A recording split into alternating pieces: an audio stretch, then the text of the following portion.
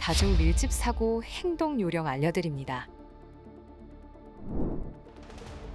본인의 의지와 상관없이 떠밀리는 느낌이 든다면 즉시 탈출해야 합니다.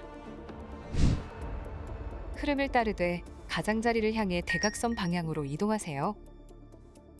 사방으로 둘러싸인 경우 직진보다는 대각선 방향이 이동이 용이합니다. 서 있는 경우 두 손을 가슴 앞으로 모으거나 팔짱을 껴 숨 쉴 공간을 확보하세요. 팔짱을 끼기 어렵다면 가방 등 소지품으로 보호하세요. 무릎을 살짝 굽히고 다리를 벌려 넘어지지 않도록 하세요. 만약 넘어졌다면 바로 일어서야 합니다. 일어서기 어렵다면 다리를 몸쪽으로 끌어당겨 웅크린 자세를 취해주세요. 가슴과 머리를 보호할 수 있습니다.